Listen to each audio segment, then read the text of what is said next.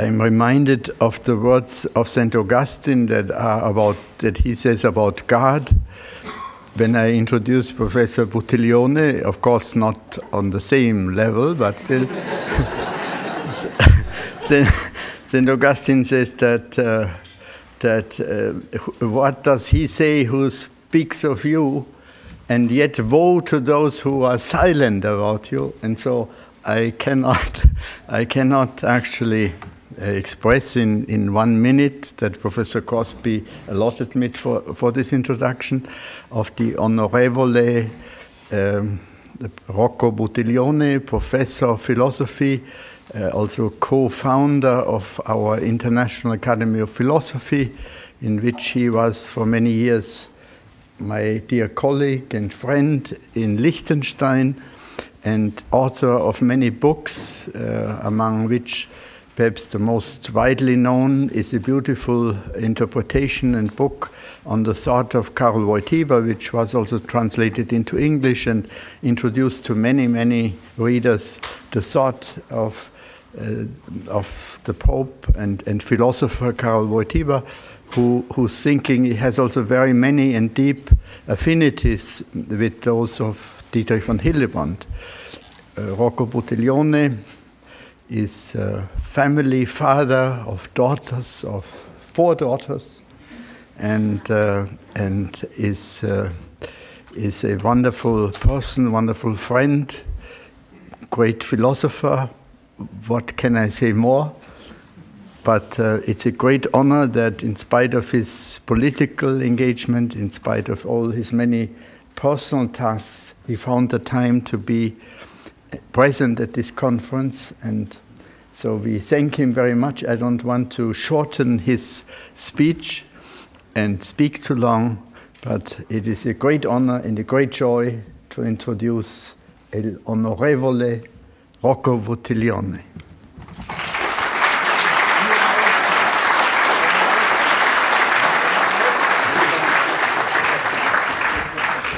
Thank you, Joseph.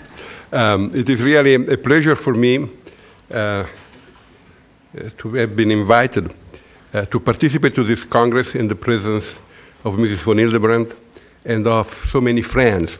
I have not had the occasion of meeting personally Dietrich von Hildebrand, um, but I remember uh, what uh, Plato says in the seventh letter.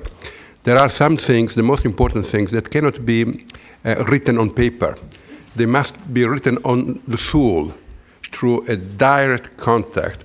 And um, I have had the fortune of uh, coming to know uh, the friends of Dietrich von Hildebrand uh, and to become their friend. And through them, I could realize that he must have been even a better friend than philosopher because he has written in the souls of the people, and many could profit of uh, his wisdom through those who had been his disciples. Because philosophy is not just a matter of writing books. Um, philosophy is uh, a way of helping people to see the truth on their lives through uh, a direct personal relationship. We all, who one way or another participate in the task of philosophy, should never forget this. Uh, that's the reason why philosophy will never end because with each generation it must be, um, begin anew. Um, Joseph did not uh, uh, remember uh, what is perhaps my greatest merit. Uh, that is that I have written the longest, if not the best, essay on his thought.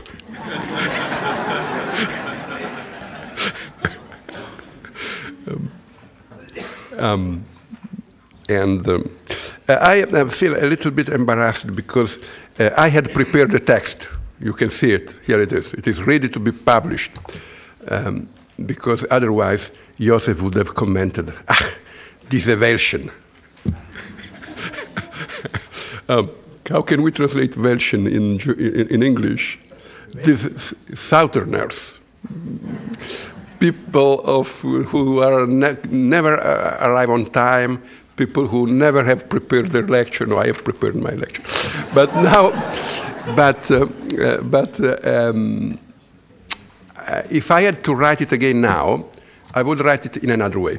So I set it aside, or at least I try to reorganize the materials, and um, uh, shall speak telling what I would write if I had to write it now. And I will start with the last question. Ah, by the way, the title is The Philosophy of Love in Dietrich von Hildebrand and Joseph Ratzinger. But I will start with the last question that has been asked. Why comes that Dietrich von Hildebrand uh, could uh, misread so grossly uh, St. Thomas Aquinas? And why comes that many important, prominent uh, Thomist philosophers could misread so grossly Dietrich von Hildebrand? Why did this contradiction arise?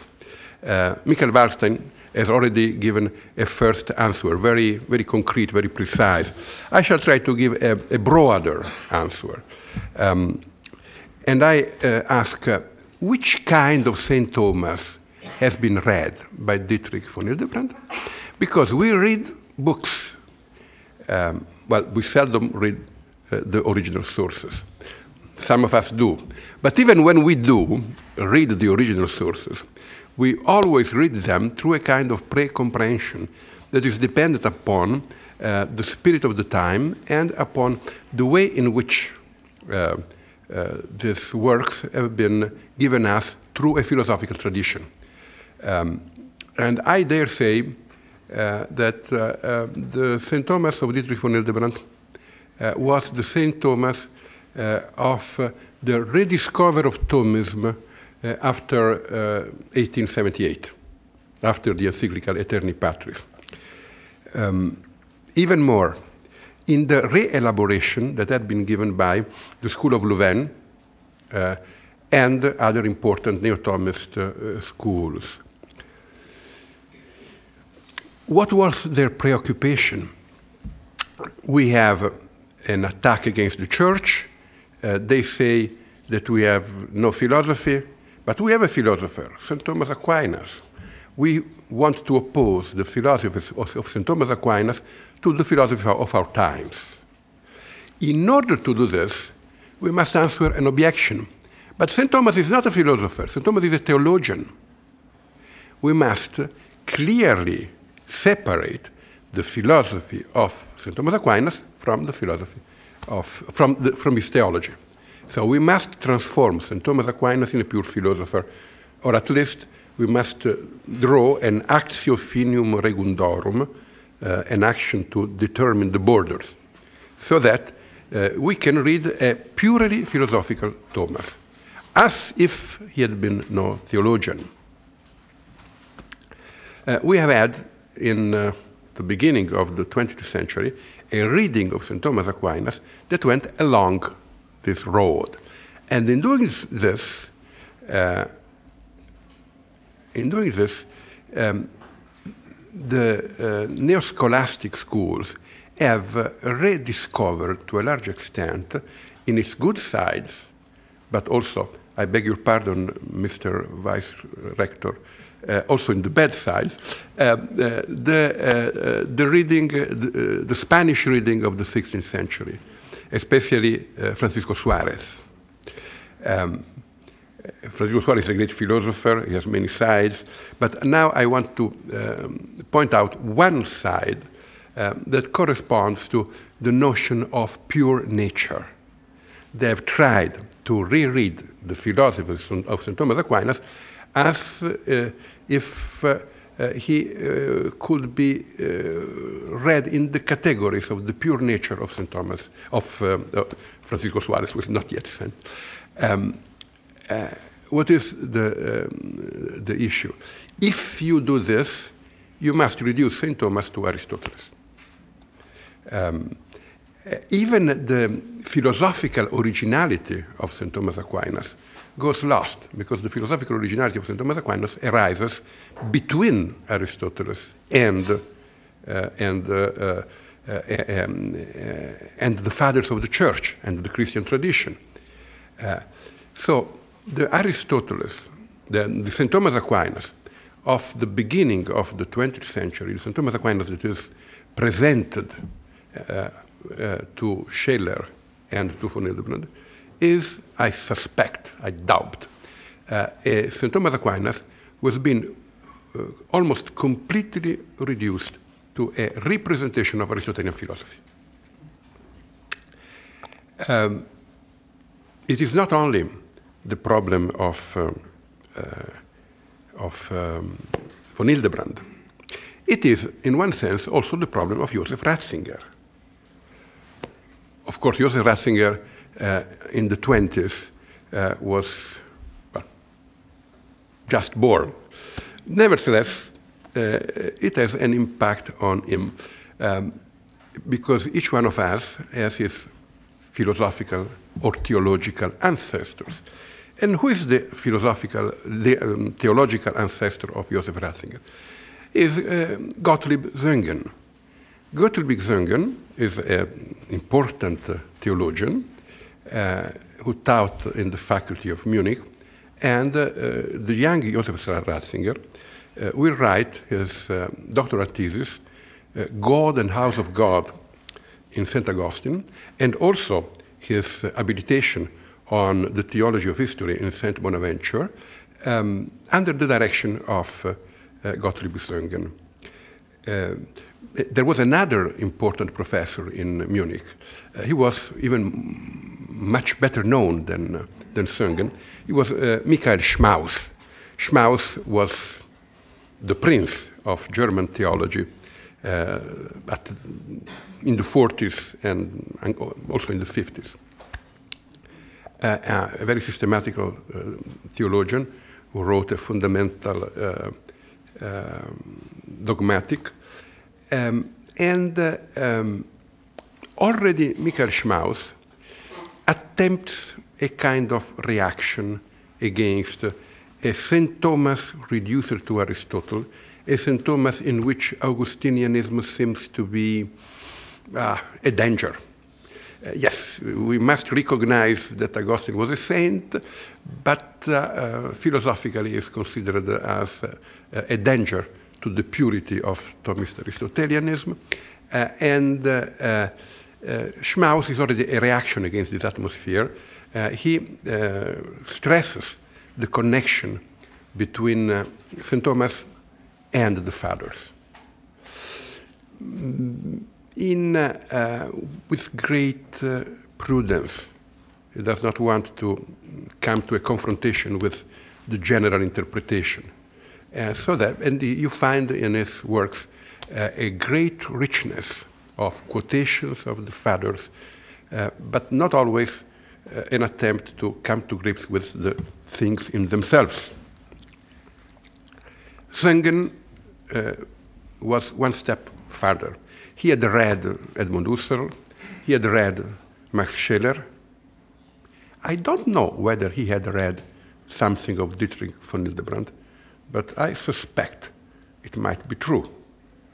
But when, many years ago, I had the occasion of reading uh, something of Söhngen, it had not this question in my mind, and I had not the time on this occasion to go back and see again. But I would not be surprised if uh, Gottlieb Söhngen uh, had already also uh, some knowledge of the first works of uh, Dietrich von Hildebrand. And uh,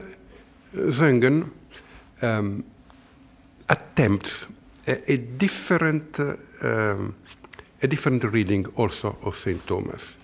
Um, not as a general interpretation to begin with, but rather through particular studies. Um, Söhngen gives to Ratzinger uh, a certain anti systematic uh, uh, attitude.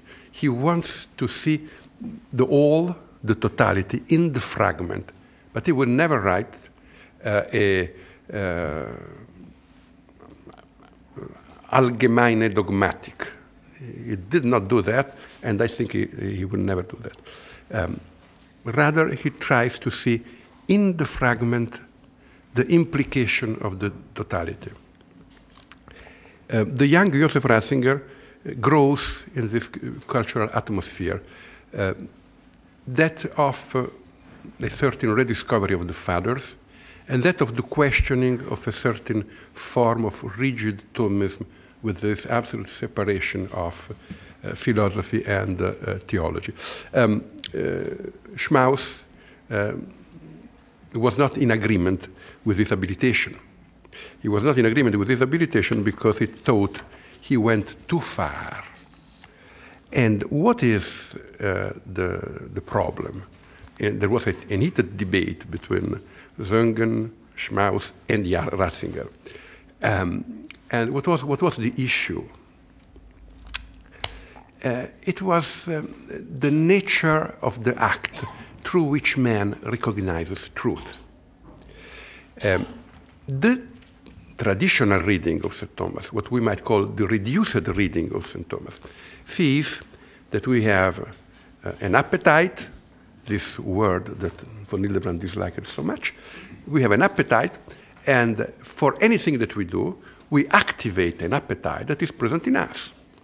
Uh, which is not a bad reading of St. Thomas, by the way, because if you take the appetite in a purely metaphysical sense, it is clear that it, whenever you do something, you must have a potentiality uh, to do that before.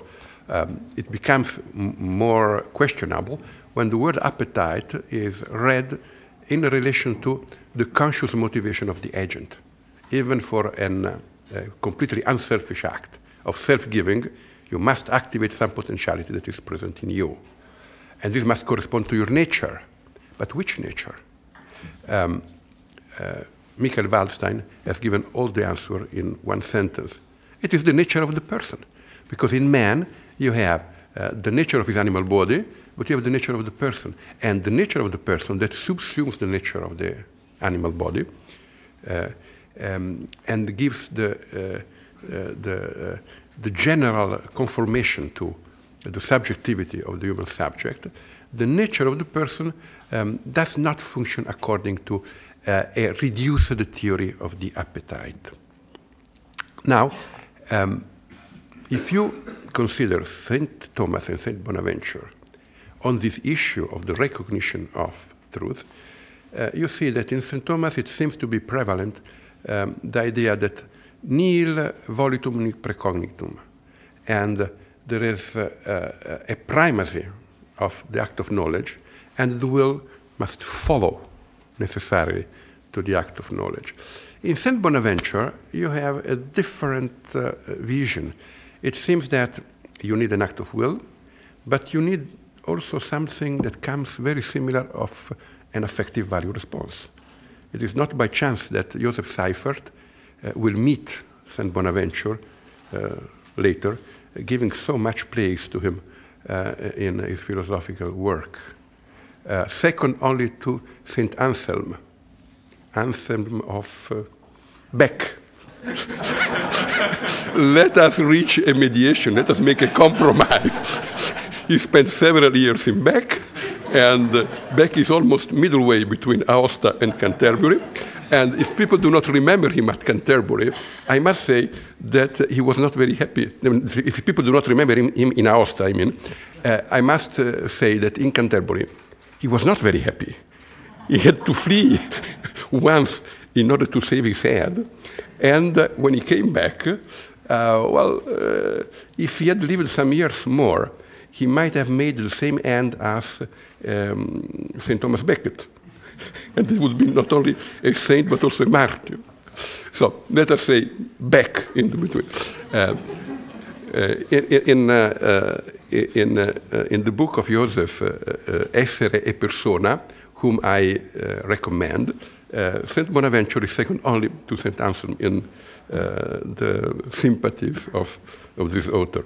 So you have a kind of affective value response, and the idea that the recognition of truth implies both, a kind of sapienza that unites both. We could find the root of this in uh, St. Augustine, of course. Um, uh, book uh, uh 15, uh, chapter 12 of De Trinitate, man is endowed with, uh, oh, better, human reason is endowed with two faculties that must go hand in hand. One is um, the scientia. Scientia is the capacity of connecting things according to the principle of efficient causality. And so scientia allows us to make use of the things of the earth, uh, allows us to produce the effects that we want to produce. And the other principle is sapientia. Sapientia is wisdom, is the, the capacity of having an insight in what is good in itself, in what is true, in what is beautiful. Is the capacity of uh, apprehending uh, the principles and of seeing reality in relation to the principles. Science and sapienza must go hand in hand because uh, the material world needs to be ordered by man in relation to these transcendentals. So, in Saint Bonaventure, um, uh, it is more, more evident the relation of these two elements and also uh, the, uh, uh, the, the, the role of the affective value response. Um, but of course, I do not mean that uh, this is lacking in St. Thomas.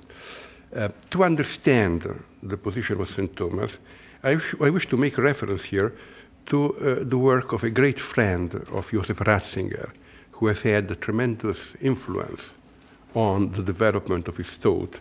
Uh, Joseph Ratzinger remembers um, how uh, the enthusiasm with which he read when he was uh, very young uh, the book of Henri de Lubac, Catholicism. Um, I, uh, I have good reasons to doubt that Catholicism was not the only book that he read. I would not be surprised if he had read also Surnaturel. Uh, I suggest, uh, for many reasons, not to read Surnaturel today, but rather the new and revised edition that de Lubac made later, uh, Augustinisme et théologie chrétienne. Um, but also in Catholicism, you find some of the elements that uh, are uh, present later in uh, Augustinisme et moderne. What is the point? The point is that, that there is a Thomist tradition that has uh, abolished one element, one fundamental element of the thought of. Thomas Aquinas. This element is the desiderium naturale videndi Deum. Desiderium, not appetitus naturalis. Desiderium naturale videndi Deum. It, it might be interesting to um, go more in depth in the search of the specific difference between appetitus and desiderium.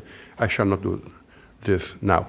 Um, now, it is enough to remind that uh, uh, since uh, Cardinal Cayetanus, uh, people have read, that's the reason why I, I, I remember the connection between the new, let us say, positivistic reading of St. Thomas and the old Spanish school.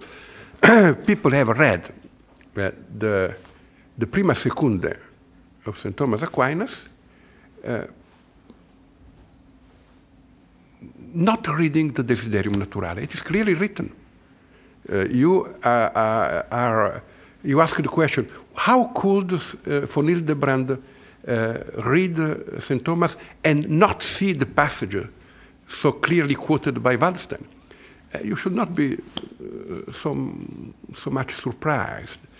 think, how could many generations of Catholic philosophers and theologians read uh, the, uh, the prima secundae, not seeing that uh, St. Thomas speaks of a desiderium naturale videndi Deum. But in the commentary of Cardinal Cajetan, for the first time you find, and therefore it is clear that there is no natural desire to see God. There are many, many good reasons for this uh, that have to do with uh, uh, the preoccupation of the Church against a possible misreading the, the, the heresies of uh, Baius, of Jansenius, of Luther, uh, of course. Uh, uh, there were many, many good reasons to be worried, uh, but nevertheless, we have had here a clear falsification of the text of St. Thomas. Now, in the Desiderium, we find that in all things you find the thing as it is, but also some way a track, a presence, uh, of God, so that the true desire of man's heart is the relation to God. And how is this relation possible? Shall we say that it can be read according to the general philosophy of the appetite? In the appetite, uh, I use the object in order to uh, become more perfect. Uh, there is a hint of the instrumentalization of the object. Uh, and if you read what uh, uh, St. Thomas Aquinas writes on the beatific vision, it seems that uh, this dynamism is turned upside down. Here, we do not want to become master of God. We do not want to incorporate God to our uh, experience. Uh, we do not want to perfection our soul through the presence of God. We rather want to be, uh, um, to be present in God. We rather want that God takes us and makes of us a part of His life. We rather want to enter into the inner life of God so that the only way in which you can think of this relation is uh, the way of the gift, the self gift. Another question is shall St. Thomas Aquinas say this only of the relation between man and God? All reality is dominated by the logic of the appetite, but only when you arrive to this point, this logic is turned upside down? Uh, my answer, frankly, is I don't know. Um, uh, it would be interesting to delve more deeply into the subject, but there is at least one case in which uh, I think that uh, I, I, I, am ready to bet that it is not so. And this is the case of the relation between the human person, the person of the other human being. Rather, the relation of the persons to one another. Here, in the interpersonal relationship, you have uh, something that is similar to the relation of the person uh, with God, in the sense that you can fulfill your metaphysical potentiality through an act of self giving, that is, abandoning your egoism. And this fulfillment uh, uh, takes place um, on the back of the action, not as their direct object. It is not what you want to, it's the result of your capacity of giving, of living an act of self-gift. One could say that perhaps in also in many other domains it is the same. Uh, Michael has given some uh, texts that go in this direction because the desire, the natural desire to see God, is articulated through all elements of human experience, so that every object can be seen in the perspective of the appetite and in the perspective of the desiderium. Well, uh, uh, the young Joseph Ratzinger uh, was attracted to Saint Bonaventure just in this atmosphere, that the atmosphere of a rediscovery uh, of the fathers. Uh, Henri de Lubac had made a tremendous, uh, also philological work uh, on the fathers in Lyon, the, the so-called École de Lyon. Um, and also, uh, he, he, had to put to himself the question, how can we put this rediscovery of the fathers in relation with, and I include here on the side of the fathers to a certain extent also St. Anselm and, uh, and St. Bonaventure, and uh, the great tradition of Thomism. Um, the solution was found more or less along the lines that I have tried to outline. And uh, here uh, uh, it is uh, fundamental the impact of de Lubac. Another author is very important to Ratzinger, so that in one sense um, they, at least in a period of their life, uh, have been uh, uh, moving around together uh, a little bit like John Crosby, Joseph Seifert, and I in a certain period of our experience, uh, is, uh, of course, Hans von Balthasar. If you take the great work of von Balthasar, Herrlichkeit, the glory, and what is the center of the glory? Exactly this idea that uh, there is something that is due to God, that is not just obedience.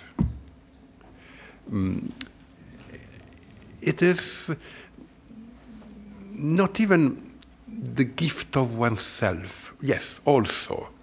Obedience also is due to God. But uh, uh, is glory, uh, the astonishment in front of something so beautiful that it, uh, uh, it changes the way in which you are. And you are assimilated to this glory, and you discover your true, your true identity only in the moment in which you enter into relation with Him. You have at least a hint of His presence in the reality of the world and in your life. And this is completely uh, free from any self interest because the very self disappears, not to be absorbed, as in a kind of immanentism, but to be revealed. And you receive the gift uh, of another self, another self who is within the life of, uh, uh, of God. it is the idea that the person, and you find this in the most beautiful formulation in uh, Council Vatican II, Gaudium et Spes, man is a, is a being of such nature that he can only fulfill himself through uh, the free self gift of himself. Uh, in this act, man is changed. Uh, are we within the realm of uh, nature, um, within the realm of, of grace? Because um, the, the traditional Thomists, or rather the neo Thomists, would not have denied any of, of this. They would have said, oh, but this belongs to the realm of grace. And we have a pure nature on the one side, in which all this is not true, and we have the logic of the appetite, and we have a realm of grace in which all these, these things and many more may happen. Um, what uh, uh, uh, de Lubac, von Balthasar, and Ratzinger say, look at Introduction to Christianity, a booklet that contains in itself a, a whole uh, theological revolution. What they did was to say, no, there is a cert, there is an, uh, uh, there is something more. There is um, a dynamism of man, uh, an historical dynamism of man, um, uh, that contains a demand of the presence of God and the capacity of seeing the, the footprints of this presence and remaining astonished in front of them. Um, uh, this domain is philosophical, uh, but uh, does not coincide with the philosophy of Aristotle. Implies elements of a Christian philosophy, elements that are derived from the theological tradition, but that philosophy did not discover by itself. Take the person. The person is a purely philosophical concept, but it is a matter of fact that uh, it was developed in the theological controversies of the fourth century. Um, uh, the person as a being who lives in the relation to the other. So that the relation of the other is constitutive of what I am, and if I do not live the experience of the gift to the other, uh, I, I, I, never arrive at discovering my true face. Um, we could quote here St. John, chapter 15 and following. So this was uh, the problem of the, of the young Joseph Ratzinger and of the theologians who were preparing uh, the council. Immediately after the council, the three friends meet again uh, in a, a, magazine, Communio. Uh, I suggest to read in parallel uh, the introductory text of uh, von Balthasar to the first number of Communio uh, and um, the article of Joseph Ratzinger 1992 for the 20 years of Communio. This gives uh, the idea of uh, a, a, theology and a philosophy that have a necessary connection to one another. Because the philosophy is human, um, does not presuppose in principle revelation, but de facto arises on the basis of the Christian experience of man because the Christian experience of man is not something that is added. It's something that goes deeper, and going deeper allows uh, to better understand what man really is. Um, I imagine that uh, all of you already have seen more than one point of contact with von Hildebrand. But before we, I have lost control of time. where is uh, our master?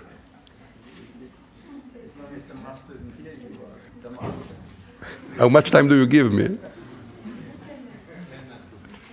10 minutes. 10 minutes, good. Uh, in 10 minutes now, I, um, before uh, I say something on von Hildebrand, but I think you have seen the points of many points of context. Uh, I wish to say one point that is communio. Communio is the unity of men among themselves, yes, but not through themselves. It was the time in which there was the great discussion on the people of God. And the theological category of the corpus mysticum was opposed to the category of the people of God. The corpus mysticum uh, was the unity of Christians through uh, the hierarchy and the sacraments. It was a hierarchical unity. The idea of people of God was more sociological, and it seemed to imply uh, a kind of uh, democracy within the church. Uh, the people of God that institutes uh, the, the hierarchy and not as uh, gathered through the sacramental action.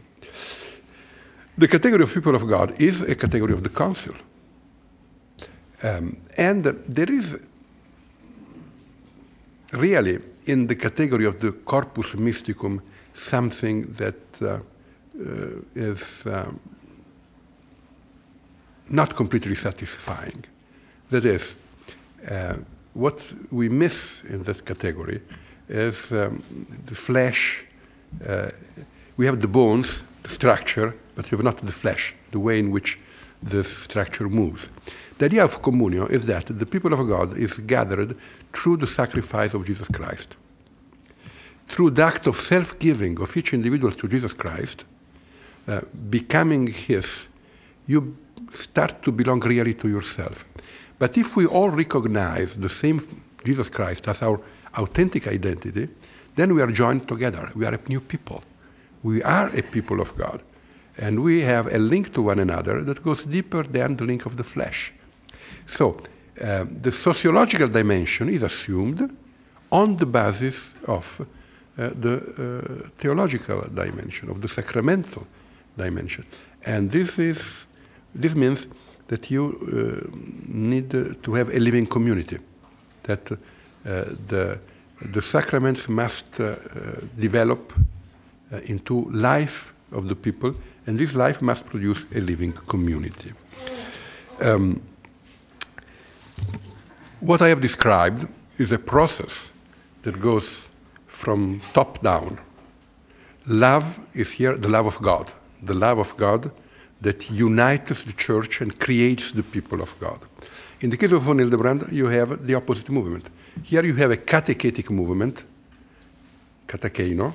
Uh, uh, I, I, come from, from, from above and uh, arrive to the, to the earth. And in the case of von Hildebrand, you start with the, uh, experience of value and you move from, uh, from bottom up. The experience of value that is, uh, uh, since the beginning, not exactly the same as in Scheler. I doubt in saying this in front of so many experts, but I have the impression that since the beginning, uh, in the idea of value, you find in von Hildebrand some elements that are not present in Scheler. Um, uh, the value is something that, is, that presents itself to you, but at the same time is something that is in itself. Second, um, the experience of value uh, is not completely foreign to the idea of duty.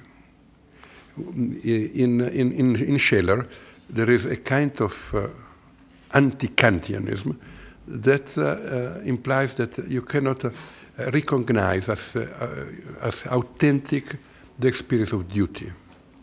In von Hildebrand, you do not find the word sollen much less the word müssen, the two ways in which usually Germans express the duty in the moral sense or in the physical sense.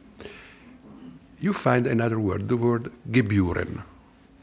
The Gebührenbeziehung uh, uh, creates a different kind of duty, um, a duty that is uh, the duty of the admiration, the duty of, uh, uh, well, um, that corresponds rather to the desire than to the appetite.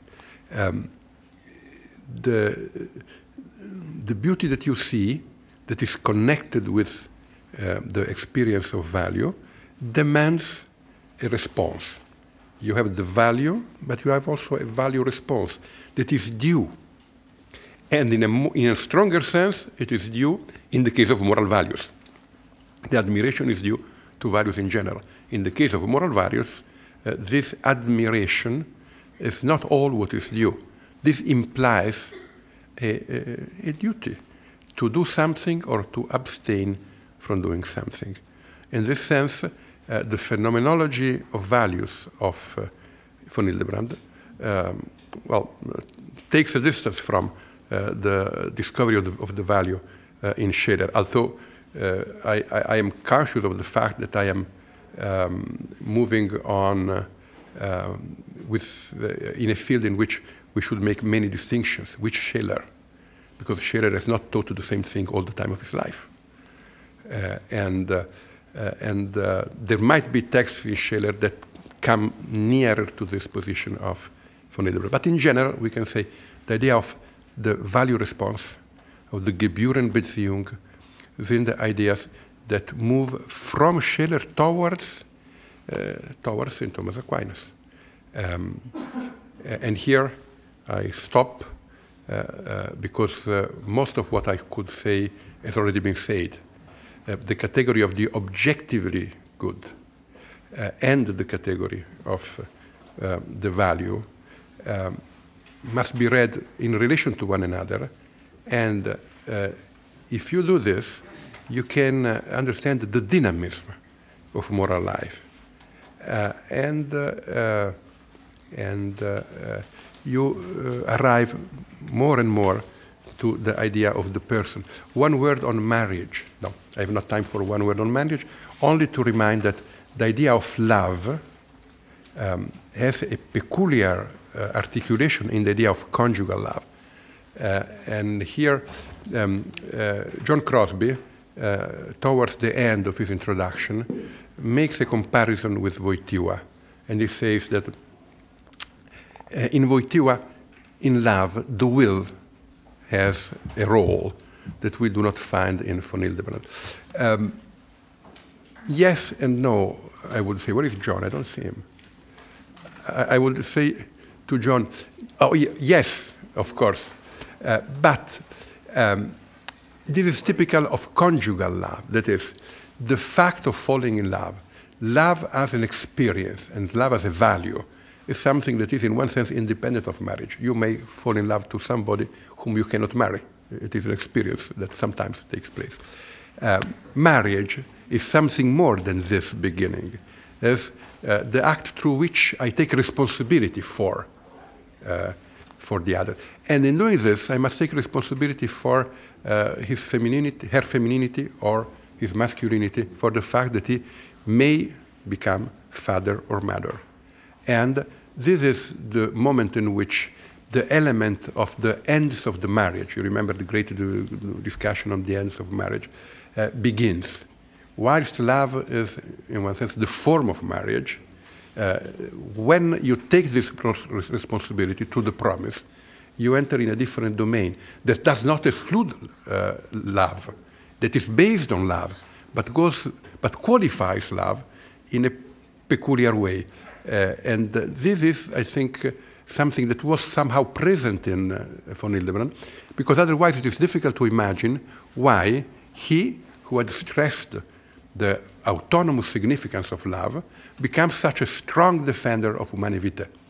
Uh, whilst those who pretended to use von Hildebrand against humanae vitae had not seen this uh, particular qualification of conjugal love linked to the natural uh, fecundity that is dependent upon the corporal structure of men uh, and, and, women.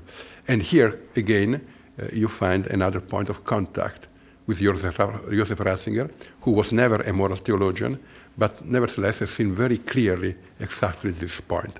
Um, I beg your pardon for the confusion of these observations that have been reworked in uh, uh, on the spot, and uh, I consider a great fortune that nobody of you has fallen asleep. Thank you.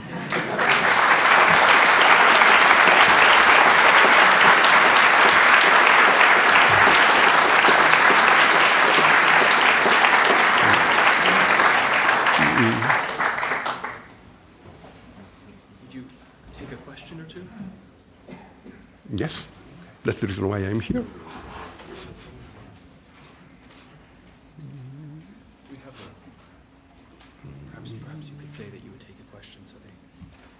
He says I should say I am ready to take questions. Maybe just two. Just two, he says.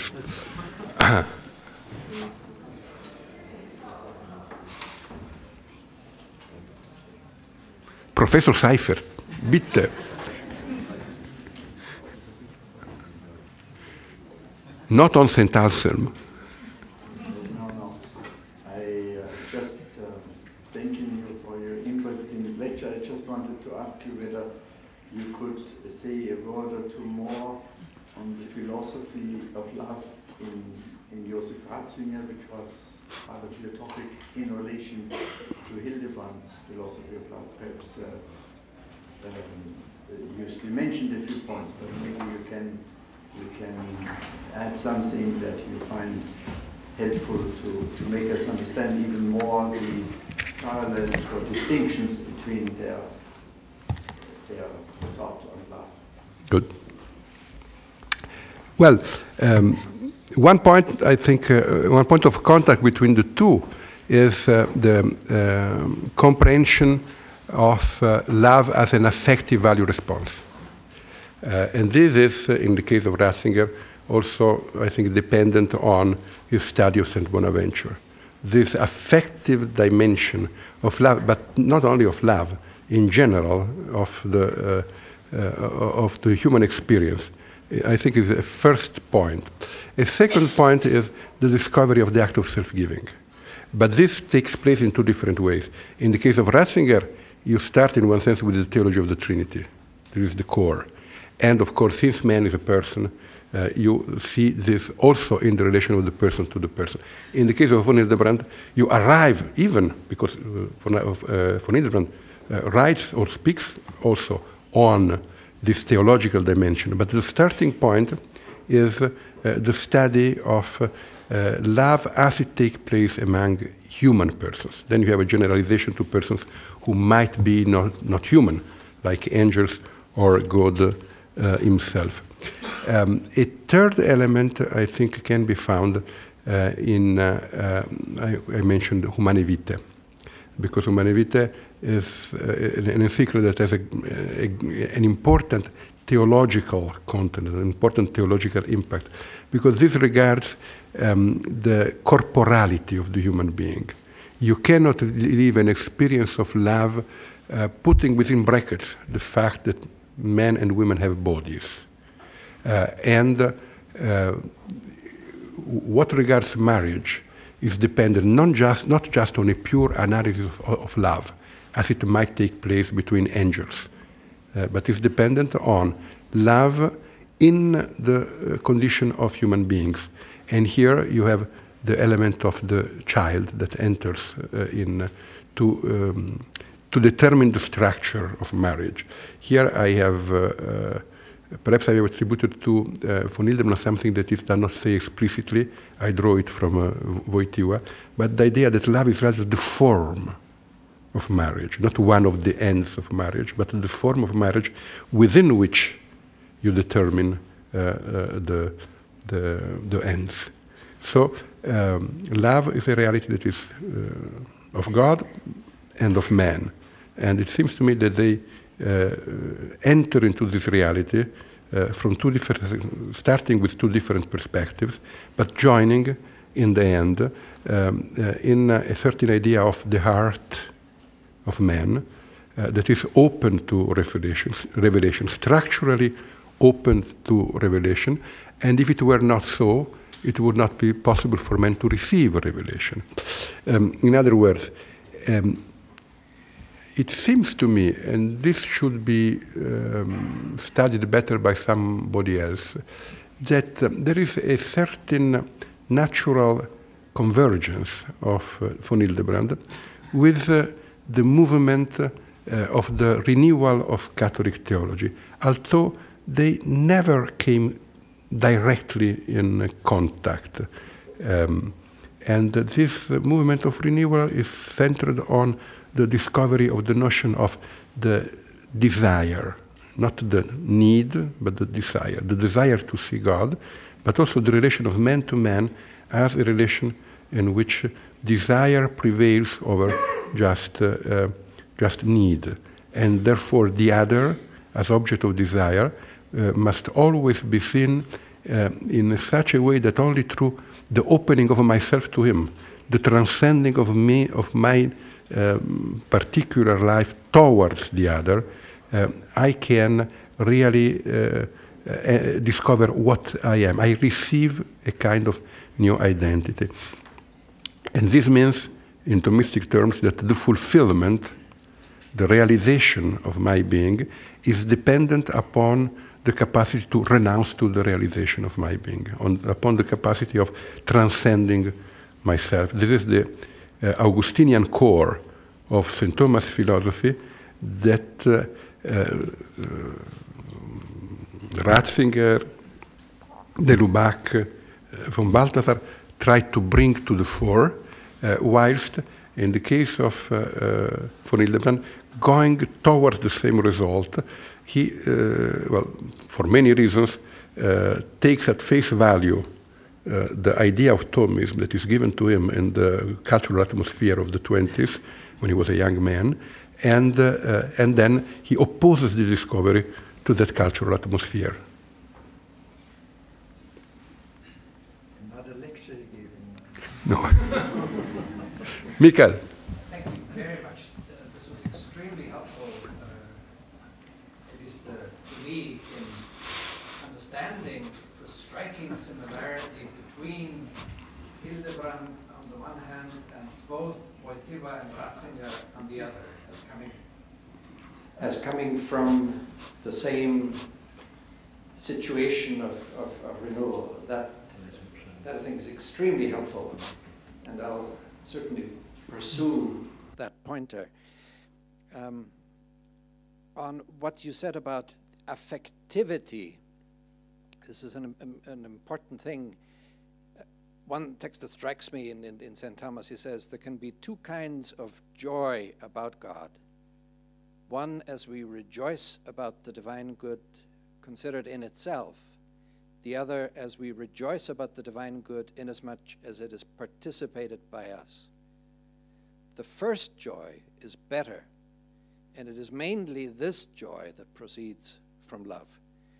It's very much a confirmation of what you said, both about the presence of the affective aspect in St. Thomas, and it's closely related to the desire for the fullness of, of joy in God. So thank you very much.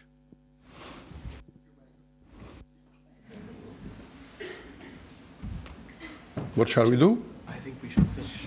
Thank you. Thank you very much, Dr. Very much appreciated. Are you able to come to lunch?